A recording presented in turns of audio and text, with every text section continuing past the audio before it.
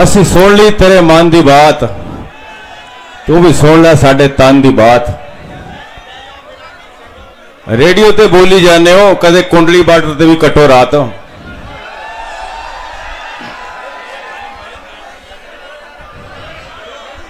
ਇਸ ਅੰਦੋਲਨ ਨੂੰ ਕਿਸੇ ਮਸ਼ਹੂਰ ਬੰਦੇ ਦੀ ਜਾਂ ਮੇਰੇ ਵਰਗੇ ਦੀ ਲੋੜ ਨਹੀਂ। ਇਹ ਅੰਦੋਲਨ ਬਹੁਤ ਅੱਗੇ ਲੰਘ ਗਿਆ। ਇਹ ਵੀ ਕੋਈ ਅਤਕਥਨੀ ਨਹੀਂ ਕਿ ਸ਼ਾਇਦ ਆਉਣ ਵਾਲੇ ਦਿਨਾਂ 'ਚ ਇਹ ਗਿਨੀਜ਼ ਬੁੱਕ ਜਿਹੜਾ ਵਰਲਡ ਰਿਕਾਰਡ ਹੈ, ਇਹ ਅੰਦੋਲਨ ਉਹਦੇ 'ਚ ਆ ਜਾਵੇ। ਦਰਅਸਲ ਆਪਾਂ ਨੂੰ ਬੋਲਣ ਦੀ ਆਦਤ ਤਾਂ ਸੁਣਨ ਦੀ ਹੈ ਨਹੀਂ।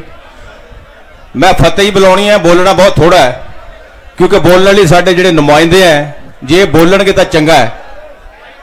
ਅਸੀਂ ਇਹਨਾਂ ਦੇ ਪਿੱਛੇ ਹੈ ਤੇ ਜਦ ਤੱਕ ਅਗਵਾਈ ਦੇ ਵਿੱਚ ਨਹੀਂ ਚੱਲਾਂਗੇ, ਤਾਂ ਮੈਨੂੰ ਲੱਗਦਾ ਕੋਈ ਵੀ ਅੰਦੋਲਨ ਫਿਰ ਸਿਖਰ ਤੇ ਨਹੀਂ ਜਾਂਦਾ।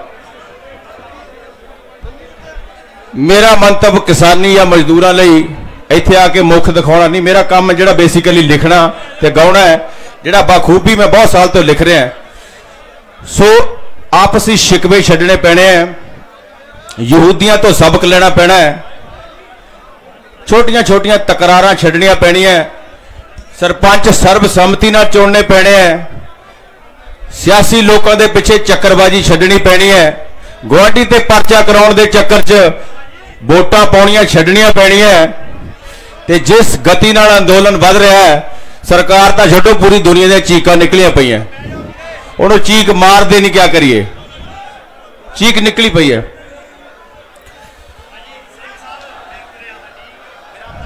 ਤੇ ਜਿਹੜਾ ਇਹ ਸਰਕਾਰੀ ਮੀਡੀਆ ਸਾਰਾ ਦਿਨ ਬੱਕ-ਬੱਕ ਕਰਦਾ ਮੈਂ ਮੈਂ ਕਹਿੰਦਾ ਲਾਹਣਤ ਹੈ ਇਹਨਾਂ ਦੇ ਜੰਮਣ ਤੇ। ਲਾਹਣਤ ਹੈ। ਕਿਸਾਨ ਮਜ਼ਦੂਰ ਦੀ ਇੱਕੋ ਆਵਾਜ਼, ਸਾਨੂੰ ਚਾਹੀਦਾ ਲੋਕ ਰਾਜ। ਲੋਕ ਰਾਜ ਕੀ ਹੈ? ਕਿ ਜਿੱਥੇ ਮੰਤਰੀ ਬਾਅਦ ਚ ਲੰਘੇ, ਲੋਕ ਪਹਿਲਾਂ ਲੰਘਣ। ਸਾਡੇ ਤਾਂ ਡੰਡੇ ਮਾਰਦੀਆਂ ਜਿਪਸੀਆਂ, ਕਹਿੰਦੇ ਸਾਈਡ ਤੇ ਕਰੋ ਗੱਡੀ।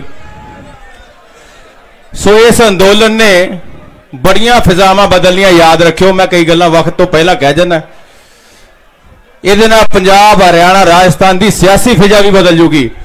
ਜੇ ਸਾਡੇ ਕਿਸਾਨ, ਜਿਹੜੇ ਸਾਡੇ ਨੁਮਾਇੰਦੇ ਆ ਜੁੜੇ ਰਹਿਣ, ਸੋ ਮੈਂ ਤਾਂ ਇਹ ਵੱਡੇ ਆ। ਇਹਨਾਂ ਨੂੰ ਅਸੀਂ ਕਹਿ ਵੀ ਨਹੀਂ ਸਕਦੇ ਬਹੁਤ ਕੁਝ ਪਰ ਇੱਕ ਬੇਨਤੀ ਮੈਂ ਸਭ ਦੇ ਸਾਹਮਣੇ ਕਰੂੰਗਾ ਕਿ ਇੱਕੋ ਮੰਚ ਬਣਾ ਲਓ ਆਉਣ ਵਾਲੇ ਸਾਲਾਂ 'ਚ। ਇਹ ਸਾਰੇ ਗੱਭਰੂ ਤੁਹਾਡੇ ਨਾਲ ਦਰਿਆ ਦੀ ਲਹਿਰ ਵਾਂਗੂ ਤੁਰ ਪੈਣਗੇ।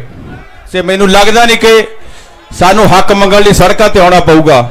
ਜਦੋਂ ਕੁਰਸੀ ਨੂੰ ਹੱਥ ਪੈ ਗਿਆ ਤੁਹਾਡਾ, ਤਾਂ ਮੈਨੂੰ ਲੱਗਦਾ ਨਹੀਂ ਫਿਰ ਸਾਨੂੰ ਇੱਥੇ, ਦਿੱਲੀ ਉੱਥੇ ਹੀ ਆਇਆ ਕਰੂਗੀ, ਸ਼ੰਭੂ ਟੱਪ ਕੇ ਫੋਨ ਕਰਿਆ ਕਰੂਗੀ ਵੀ ਆ ਜਾਈਏ।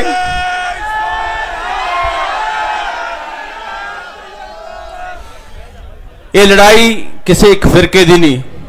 ਸਾਨੂੰ ਬਹੁਤ ਚੀਜ਼ਾਂ 'ਚ ਆਪਣੇ ਆਪ 'ਚ ਸਵੈ ਚਿੰਤਨ ਕਰਨਾ ਪਊਗਾ। ਸਾਨੂੰ ਸਿਆਣੇ ਨੂੰ ਸਿਆਣਾ ਕਹਿਣਾ ਪਊਗਾ। ਇਹ ਨਹੀਂ ਵੀ ਜੇ ਇੱਕ ਬੰਦਾ ਚੰਗਾ ਬੋਲਦਾ ਤਾਂ ਪਿੱਠ ਪਿੱਛੇ ਉਹਨੂੰ ਗਾਲ ਕੱਢ ਕੇ ਨਿਕਲ ਜਾਣ। ਇਹ ਆਦਤਾਂ ਛੱਡਣੀਆਂ ਪੈਣਗੀਆਂ।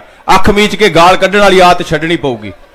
ਸੋ ਸਵੈ ਚਿੰਤਨ ਕਰੀਏ, ਐਸੇ ਤਰ੍ਹਾਂ ਜੁੜੇ ਰਹੀਏ। ਜਿਹੜੀ ਤੁਹਾਡੀ ਇਹ ਸ਼ਿਕਾਇਤ ਸੀ ਵੀ ਗਾਣਿਆਂ ਨੇ ਸਮਾਜ ਵਿਗਾੜਤਾ, ਅੱਜ ਪੂਰੇ ਗਾਉਣ ਵਾਲੇ ਲਾਗੇ ਗਾਉਣ ਨਾ ਸਮਾਜਿਕ ਗੀਤ। ਇਹ ਕਾਤੇ ਗਾਉਨੇ ਹੁਣ? ਕਿਉਂਕਿ ਤੁਸੀਂ ਚਾਹੁੰਦੇ ਹੋ ਕਿ ਇਹ ਗਾ ਐਦਾਂ ਹੀ ਗਾਉਣਗੇ। ਦੁਨੀਆ ਦੀ ਹਰ ਵੰਨਗੀ ਆਵਾਮ ਤੁਹਾਡੇ ਲਈ ਹੈ। ਜੇ ਤੁਸੀਂ ਚਾਹੋਗੇ ਤਾਂ ਹੋਊਗਾ। ਸਭ ਕੁਝ ਬੰਦ ਹੋ ਜਾਊਗਾ। ਉਹੀ ਚੱਲੂਗਾ ਜਿਹੜਾ ਤੁਸੀਂ ਚਾਹੋਗੇ।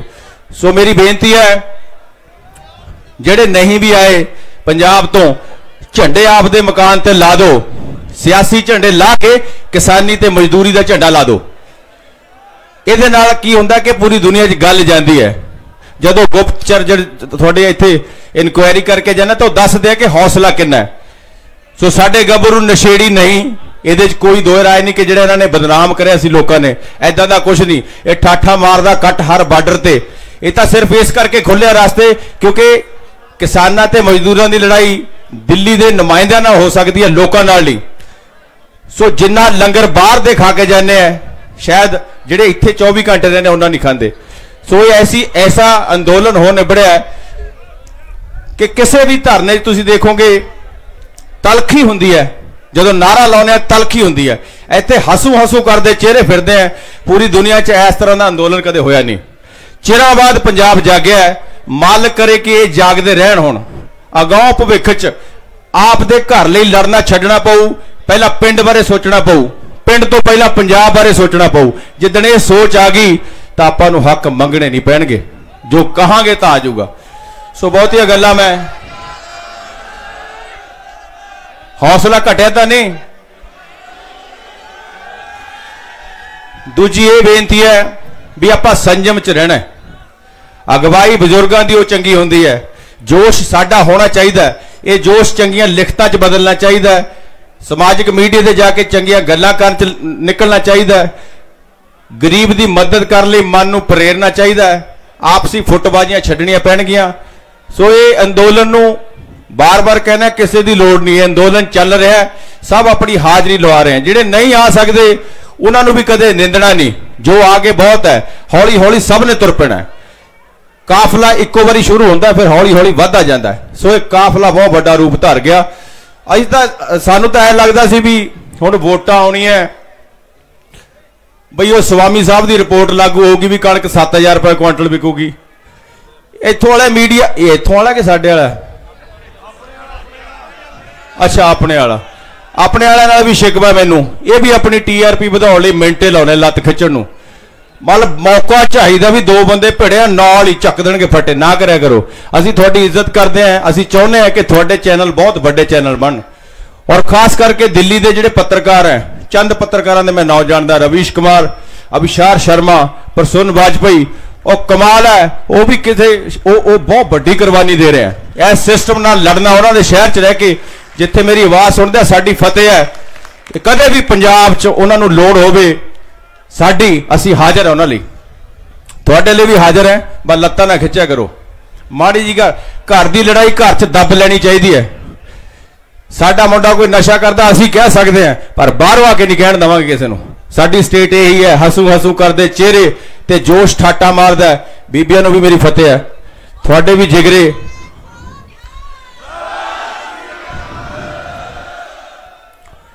ਨਾ ਮਿਲਵਰਤਨ ਲਹਿਰ ਵੀ ਪੰਜਾਬ ਤੋਂ ਹੀ ਸ਼ੁਰੂ ਹੋਈ ਸੀ। ਕ੍ਰੈਡਿਟ ਬਹੁਤ ਹੋਰ ਲੋਕ ਲੈ ਗਏ।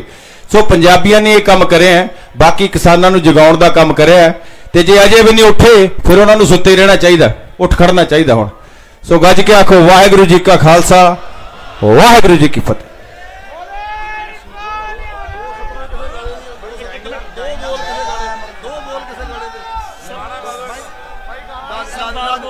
ਗਾਣੇ ਗਾਣੇ ਗਾਣੇ ਤਾਂ ਮੈਂ ਤਾਂ ਗਾਏ ਸਮਾਜ ਦੇ ਬਹੁਤ ਗਾਣੇ ਗਾਏ ਹੈ ਪਰ ਮੈਂ ਚਾਹੁੰਦਾ ਕਿ ਮੈਂ ਨਾ ਗਾਵਾਂ, ਕਿਉਂਕਿ ਮੈਂ ਗਾ- ਗਾਉਣ ਵਾਲਾ ਤਾਂ ਮੈਂ ਵੈਸੇ ਹੈਗਾ ਚਲੋ।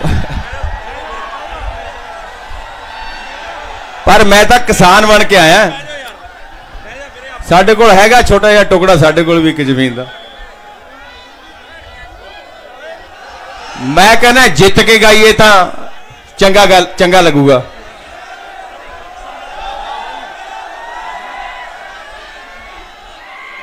ਗਜਨੀਓ ਹਿੰਦ ਦੀ ਇੱਜ਼ਤ ਲੈ ਆਏ, ਦਿੱਲੀ ਨੂੰ ਵੀ ਜਿੱਤ ਕੇ ਛੱਡ ਆਏ। ਇਹੀ ਦਿੱਲੀ ਨੱਪਦੀ ਅੱਜ ਕੱਲ ਰਾਜਾ ਨੂੰ। ਸਿੰਘ ਮਾਰਦੇ ਠੋਕਰ ਤਖਤਾਂ ਤਾਜਾਂ ਨੂੰ। ਸਿੰਘ ਮਾਰਦੇ ਠੋਕਰ ਤਖਤਾਂ ਤਾਜਾਂ ਨੂੰ। ਓਏ। ਵਾਹਿਗੁਰੂ ਜੀ ਕਾ ਖਾਲਸਾ, ਵਾਹਿਗੁਰੂ ਜੀ ਕੀ ਫਤਿਹ।